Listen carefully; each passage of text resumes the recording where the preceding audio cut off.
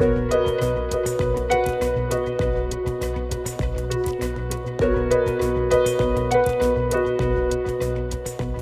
my name is Morten Reid. I'm the Clinical Project Manager of TRIOS and I want to show you the new cool upcoming feature, Patient-Specific Motion. So this is literally a scan of myself. I just scanned a full upper, full lower, and as you can see, there's no secret to it. Then I go directly to the validation page, and you will see now a new icon on the validation page right here. The new icon is called Motion.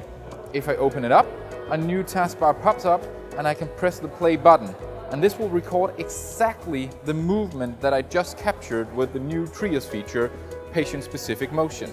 So all I did was actually taking the scanner, scanning a full upper, full lower, taking the bite as usual, scanning then an additional scan called patient-specific motion. I grinded my teeth while scanning, like this. When I press play, I'll have my exact patient-specific motion not cheating, not putting it into any articulation, but the true recorded movements of the jaws directly from the patient. Thank you for watching.